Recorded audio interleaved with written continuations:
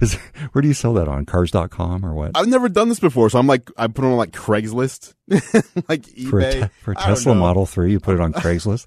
I'm sorry, that's I just don't know what to appropriate. do. I've never You need this. like an auction house. Maybe. It's like Sotheby's. I don't. I need right. to get advice.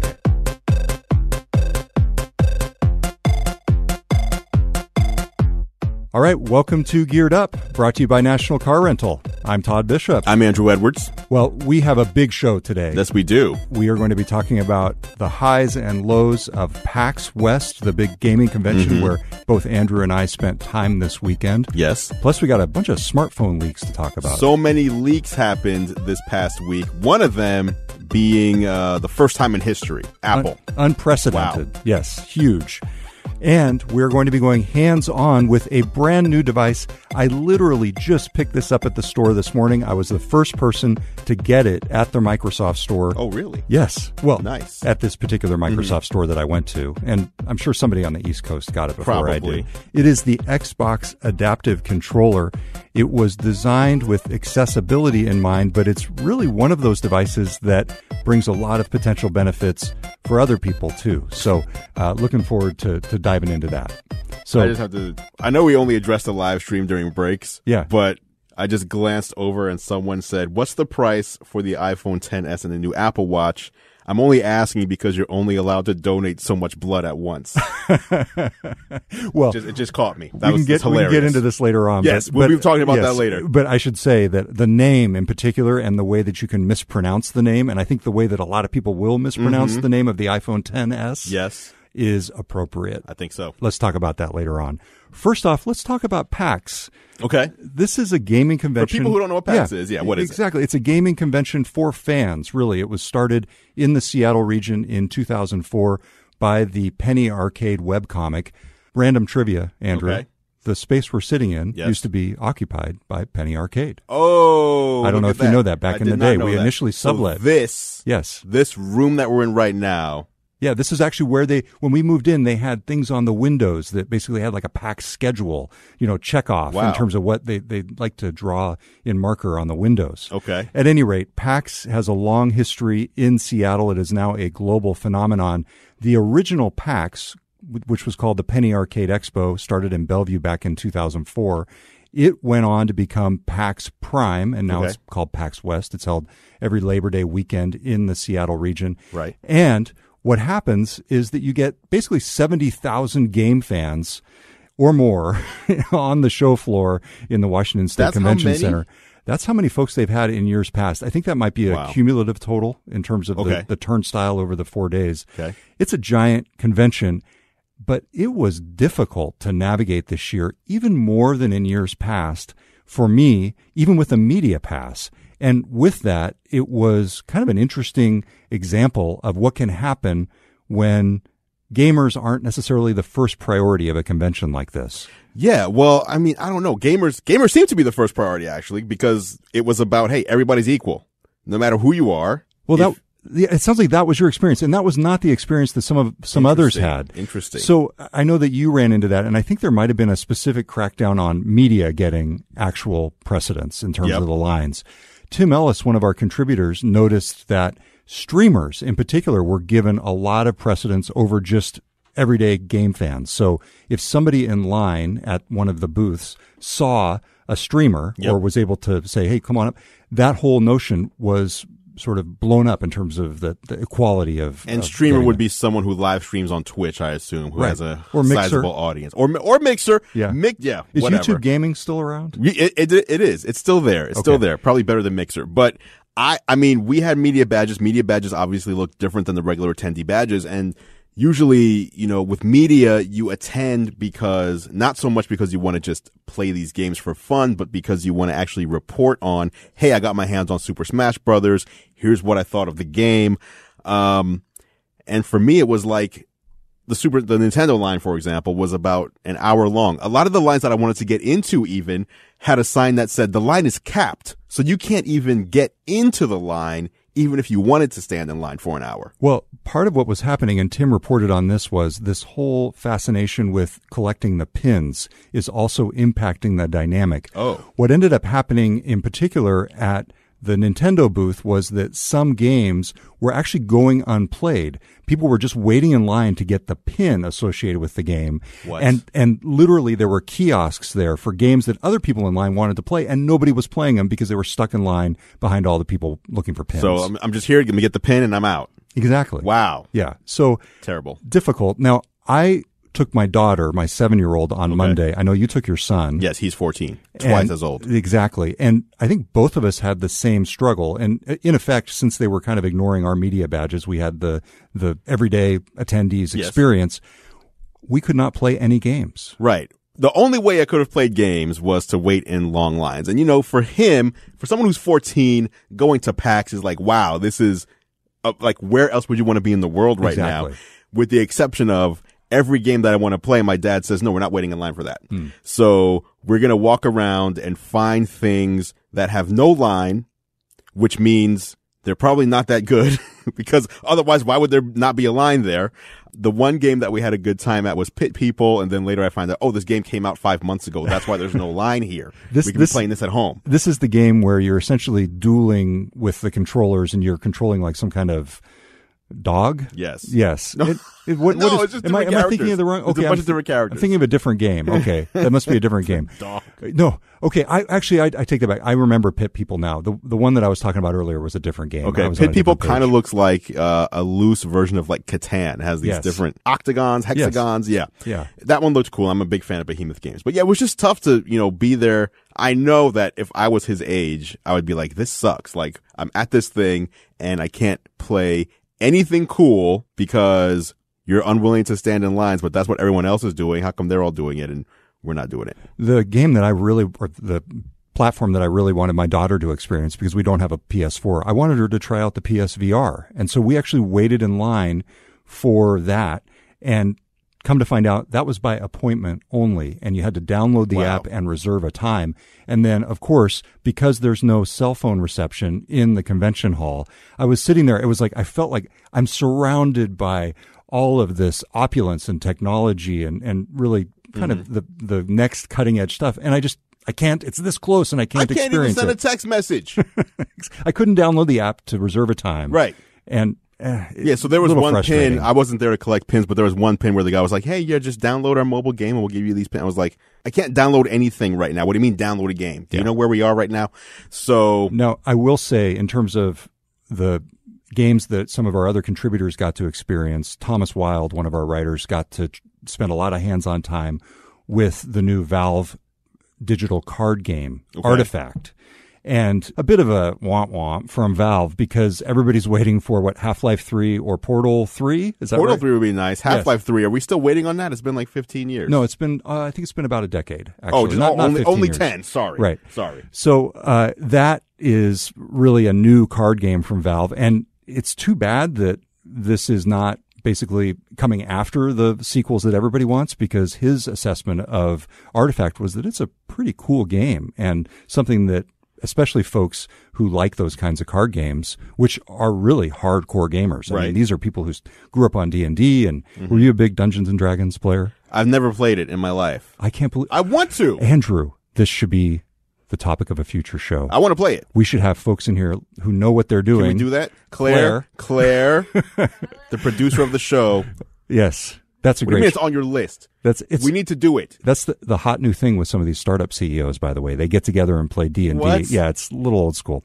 At any rate, Artifact, the game from Valve, coming out later this year, worth checking out, even if you are disappointed that it's not the sequel to Portal or Half Life. Mm-hmm. Uh, my daughter's favorite game, her game of the show, What is it? Meow Wars. That's the only game you can get in line for, isn't it? So it's apparently it's apparently an artist slash developer who made it, and this is his pet project. I, I'm. Ah. We're, we're going to commercial. This is this is crazy. It's a card. It's another card game, and it's funny because I was having a conversation with her on the show floor, telling her about Artifact, and she was like, "Wait a second, it's a card game?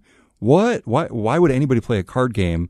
On uh, Digitally. yeah, exactly. And then we found Meow Wars, which as a seven-year-old was right up her alley, Mm-hmm. and she loves it. And it's actually, a, to your point, it's available now, so it's not like you're getting early access to these games. It's on uh, Google Play, Android, iOS, and Steam. So check it out. PAX needs to have a media day. Yeah. Um, I was told they had a media hour. They did, and I was there, and it started half an hour late. Oh, geez. And What? then here's the problem. The media hour is also open to other exhibitors. And so there were actually Ugh. quite a few people in there. And I had a hard time, even during the media hour, getting access to games. So, uh, and I Fix realize, this. I, yeah, I recognize that we're kind of preaching as media quote elites when we say this. right. But I understand that too. yes, But when people tune into the show, they want to know. they want to know what we thought of these games and, you know, we had hands-on impressions because some people couldn't No. make it out to the show.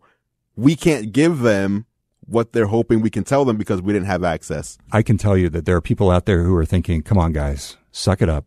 Sit in line for two hours. Get all your friends to come on their media passes. You know, bring a squadron of people. Fair. If you're dedicated to covering this stuff, spend the three You know hours what? that it takes to get up there and play the new Switch game. I feel you. Okay. I feel you All on right. So I we we hear we hear Fair what you're saying, but come on. yes.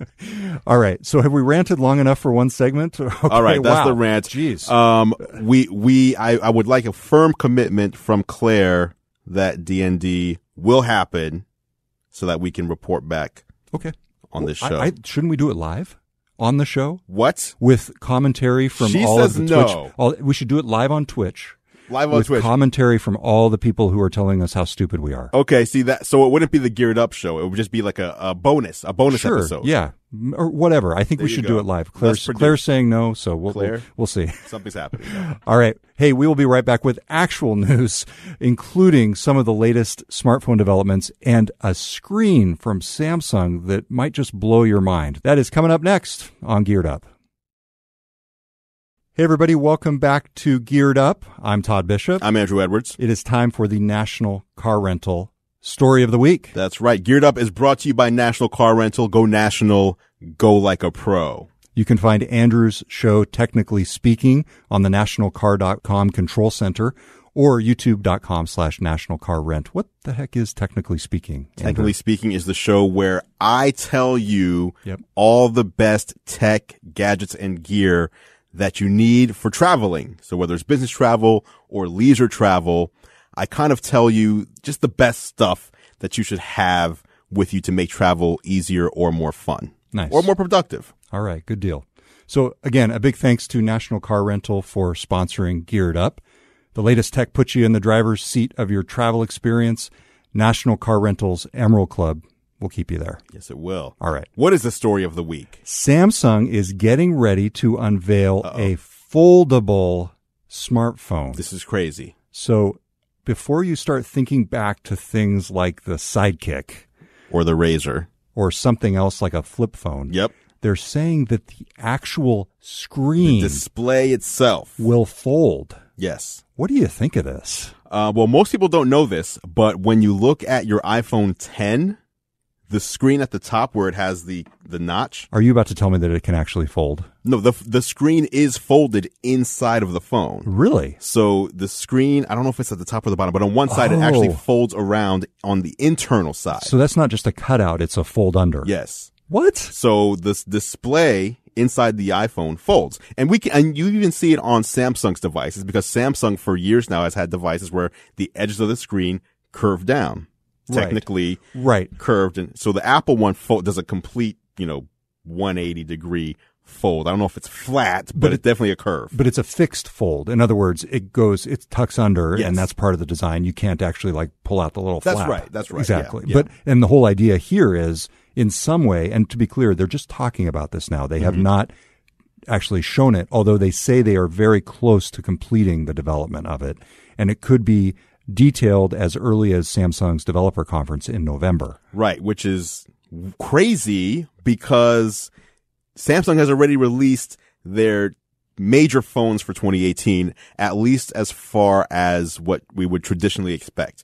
They released the Galaxy S9 and S9 Plus a few months ago, and then right before the iPhone, you know, gets announced, they release the Galaxy Note line. So the Galaxy Note 9 just came out, what, like two weeks ago? And usually that's it for Samsung until the Galaxy S10. And we're hearing that in, no, they may come back and say, Hey, we're not done yet.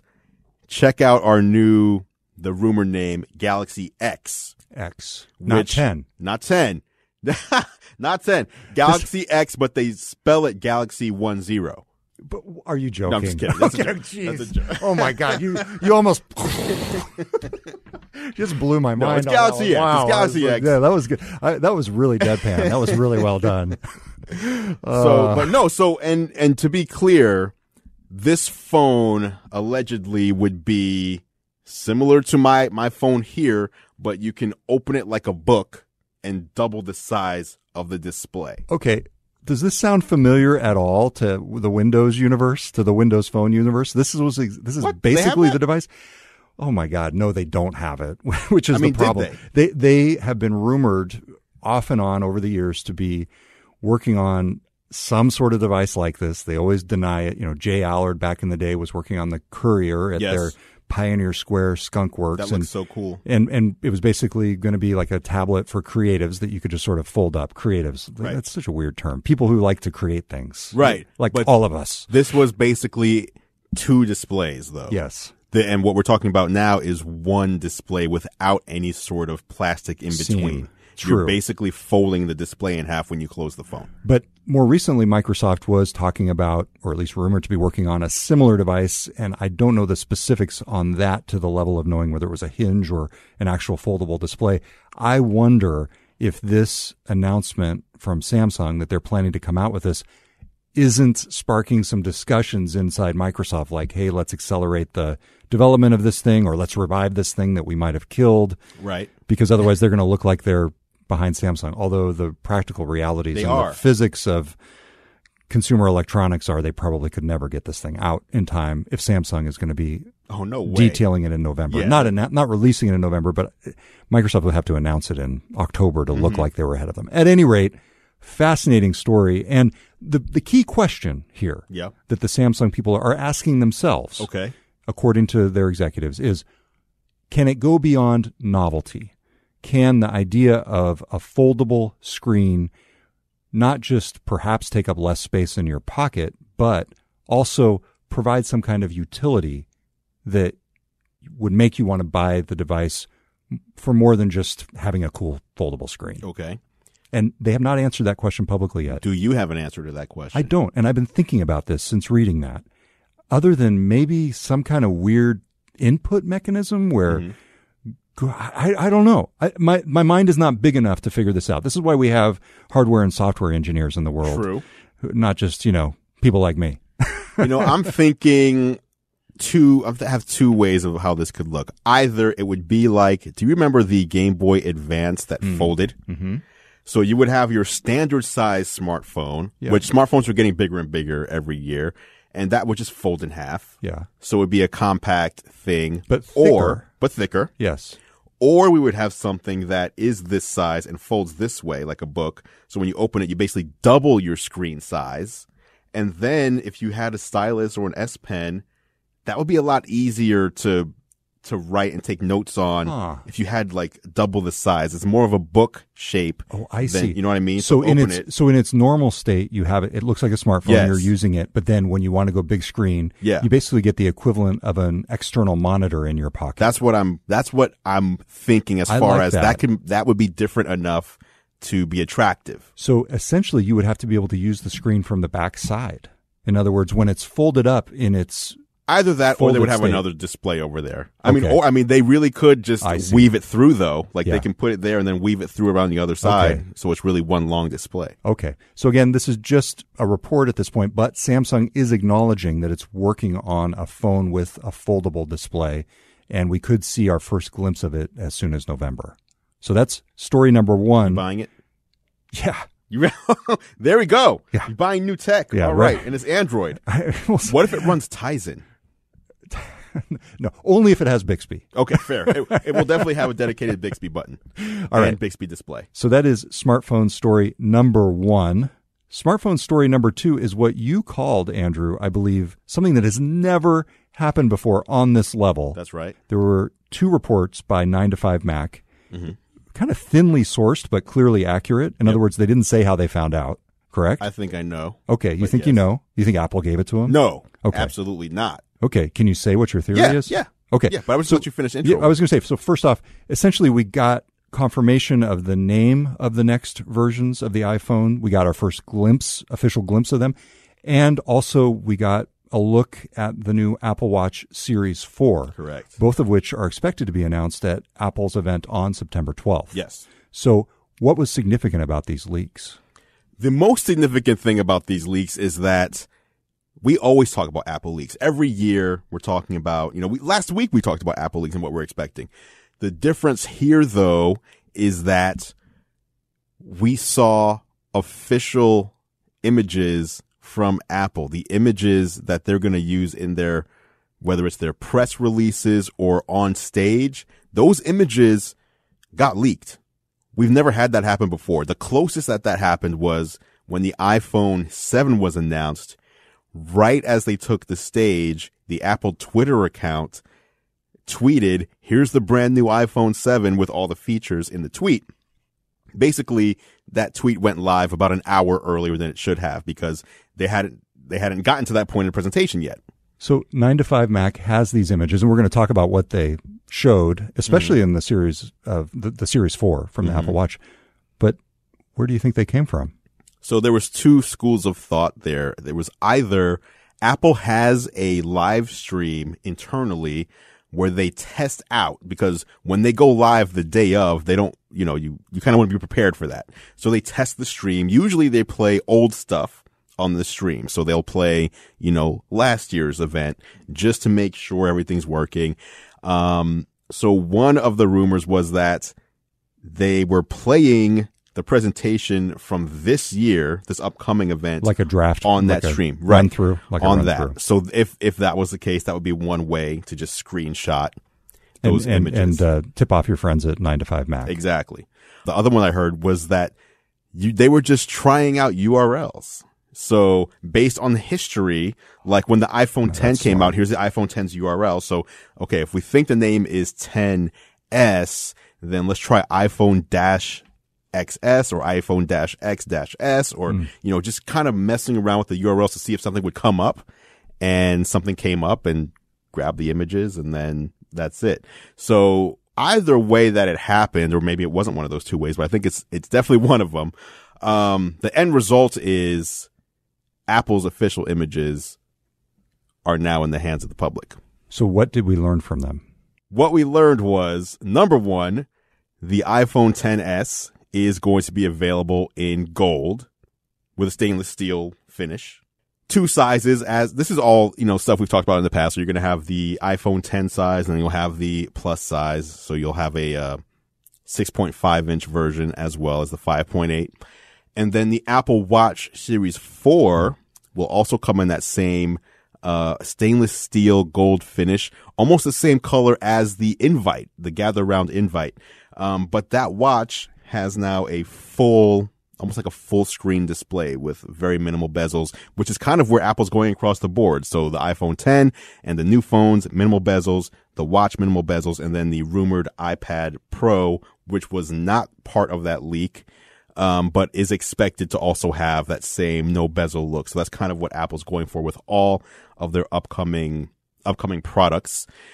And the Apple Watch in particular, there was a watch face that they're showing. It's a new round watch face. Maybe that's where the, you know, I always wonder what the invite is teasing, like right. gather round. Gather round. So it was gold and we see all this gold. And then the round watch face has nine complications on it. And a complication, if you're not aware, is basically you can add nine different pieces of information to your watch face. Um, currently, I think the most you can have is four. Mm. Yeah, I think it's four, maybe five, but so it's almost doubling now. So just because of that extra screen real estate that you're going to get on the watch. So those are the two things we found out. Not much more than that because we still don't know, you know, a lot of people are like, well, now we know everything. Well, we don't know yeah. about the processor. We don't know about the speed. We don't know, you know, we know what it looks like. We have the visual, but there's still things that Apple, you know, there's no way for us to know unless someone physically got a device in their hand. And then the last thing we learned was confirmation of the name, mm. the, the, iPhone 10s. iPhone 10s. Which is visually the iPhone XS, uh-huh. which is how I think a lot of people will be making fun of this thing, right? Right. Because I it's going to cost a lot of money. well, it's excessive. I mean, I think the the smaller version, the version that's the size of the iPhone 10 currently, is going to cost less than this year's iPhone 10 costs. So technically, it's going to cost a little less. So is the form factor though essentially the same? Same form factor as iPhone 10, and Yep. then you'll have the the larger version as well. What did not leak was the entry level LCD iPhone, whatever that's going to be called. which is nine. you could think of it as the iPhone 9 because Yes. it's the successor to the 8. right. That Although, has not been no home button. As No we home said, button, all yeah. the new devices will have no home button. same design. Yep. Okay. Yep. Full screen with a notch. All right. So our last smartphone leak wasn't so much a leak as it was a left behind. That was the Pixel 3 Pixel 3 XL XL, which was left on in the back of a Lyft. In the back of a Lyft, which Right. is reminiscent of the old iPhone left in a bar. That's right. Which so there's a joke years in ago, here somewhere. If you were around back in the day, the iPhone 4 was leaked by Gizmodo in spectacular fashion. Gizmodo back in that day would post maybe 25 stories a day. When you woke up that morning, there was one post and there was no post for like the next 48 hours. It was just, here's the new iPhone that's coming. Here's a video. And that, that was probably the, I don't know if there was been a bigger blog post text story ever. Like that was huge. So what happened with the new Pixel 3 XL? Well, someone left it in the back of a Lyft, and then the the. So here's the thing: this phone has leaked so much that the driver of the Lyft saw it and knew, oh, this is the Pixel 3 XL. So let me take some pictures and send it because it was caught. Now he he returned it to the owner, but what's funny is, oh, really? Oh, no. See, that's interesting. yes, The Lyft driver returned it to the owner. Yeah. By the way, Android Police has all the images. yeah, yeah exactly, exactly. Don't worry. it- don't worry about it. I got you. I got your back. I'm giving you back the phone. I've already leaked all the Yes. images. So, you know, now I'm looking at it from the perspective of, man, this phone is leaked so much that he wasn't like, oh, what is, what is this? This is a crazy phone. I've never Yeah, seen this. exactly. He's like, oh, I know what this is. This is that Pixel 3 XL I've been seeing all over the place. Um, What, how many stars do you think he got from that that writer? that's, that's Four hilarious. stars. What was the problem? Well, Yeah. so, you know, I don't know. Um, what's weird is Google is not announcing this phone until October. yeah. So I'm to I'm yeah. I'm shocked as to how many like it's been unboxed. It's been like when did they start building these phones and putting them in boxes and full retail ready to ship because they're not announcing it for, you know, months later. Yeah. And yet people when they leak it it's like here's the box, let's open it up like they're unboxing it. Like it's brand it's a brand new product they bought at the store. So um I am curious to know though if you're out there are you looking forward to the new iPhone? Are you looking forward to the new Pixel? So for people who have not followed the whole Pixel evolution, Yeah. So the Pixel 3 is out.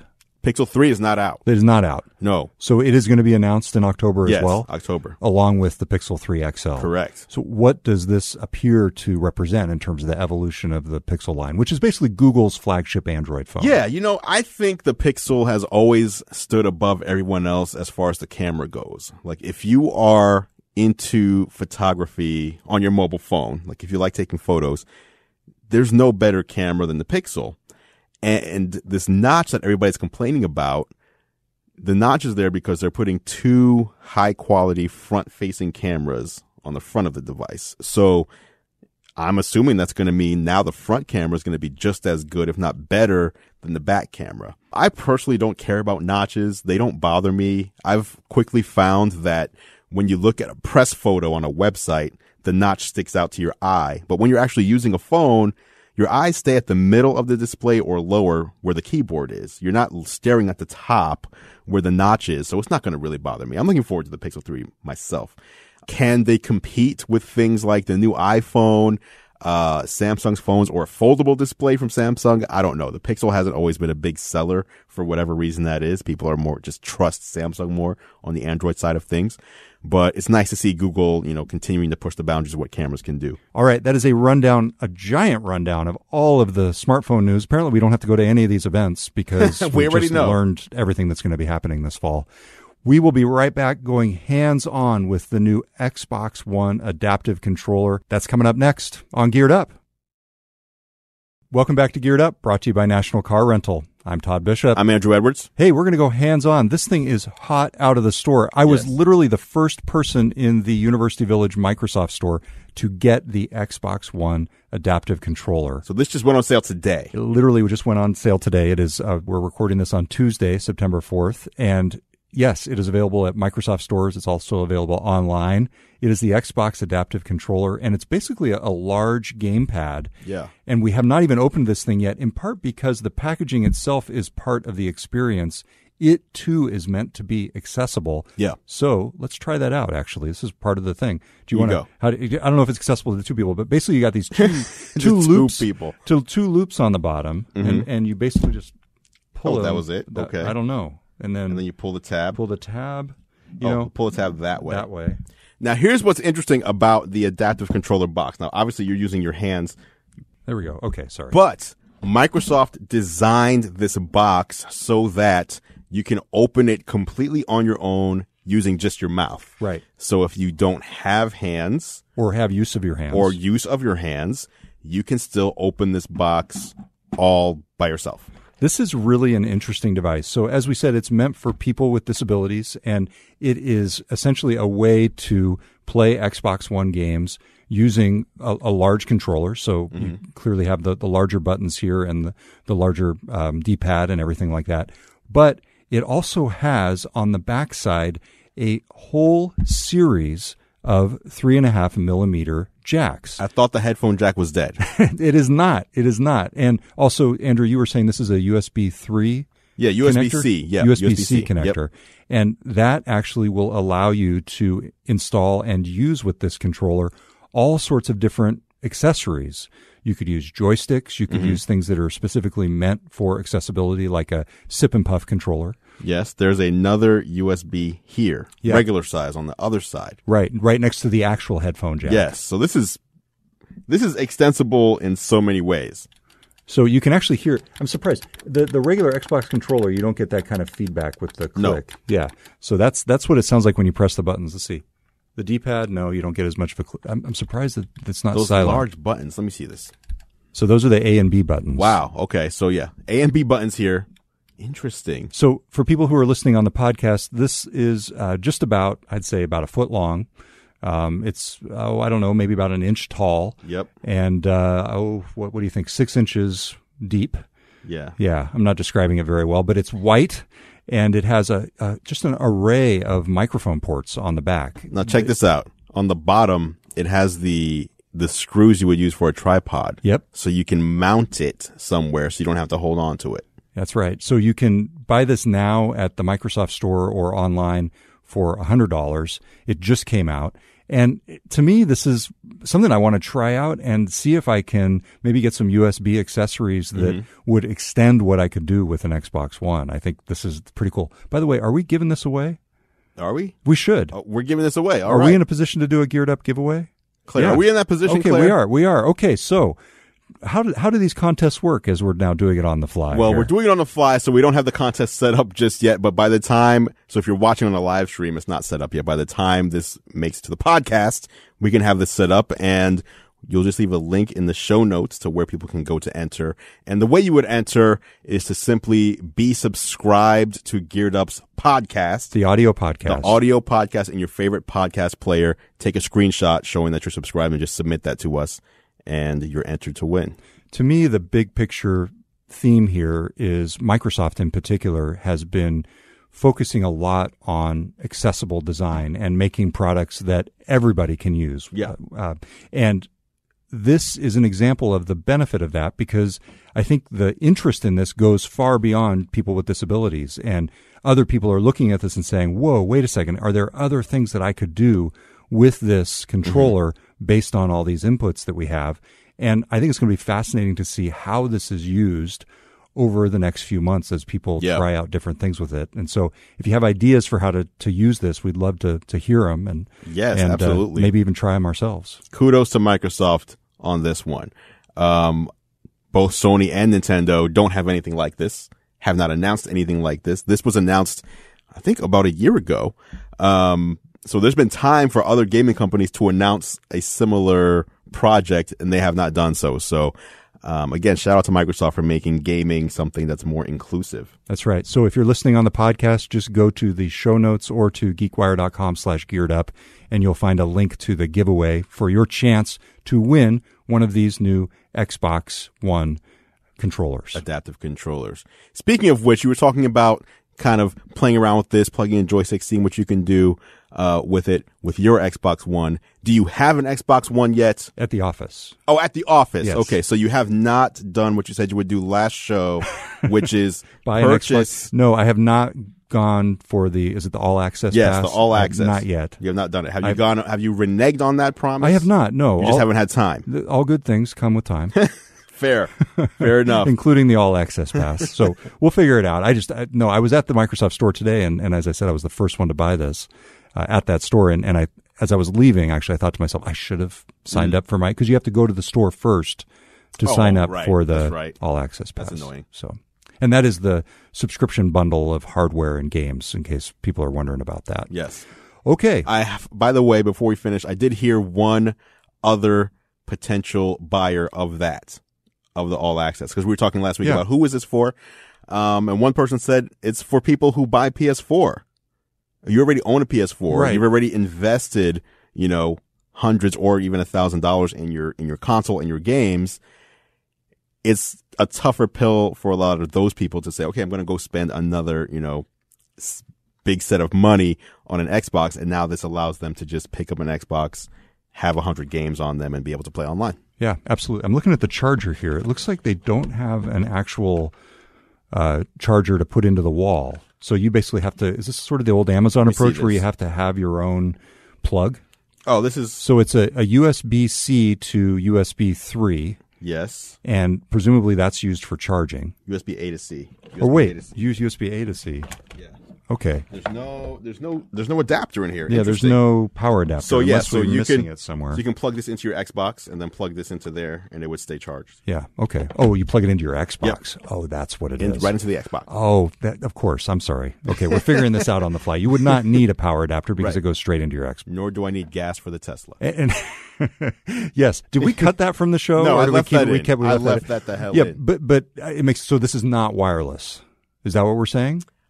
I don't think it has to be wireless. I don't. I think it can be though. I mean, I don't know. Now I'm just making guesses. It is. is.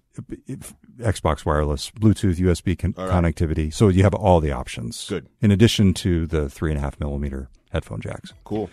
All right, that is it for Geared Up now that we've figured that one out. Just a reminder if you're not already, you should subscribe to Andru's YouTube channel to see our live behind the scenes videos. That is at youtube.com slash gear live. You can also watch at facebook.com slash geekwire. And of course, you can subscribe to Geared Up in your favorite podcast app. Just search for Geared Up, two words, not one, in Apple Podcasts or wherever you listen. If you like what we do, consider leaving us a rating and a review. It really does help other people find the show. Geared Up is a GeekWire podcast. You can see more from us at geekwire.com. And Claire McGrain produces the show and teaches us D&D. Yes, she will. Thanks for tuning in, everybody. Until next time, I'm Todd Bishop. I'm Andru Edwards. Talk to you next time on Geared Up.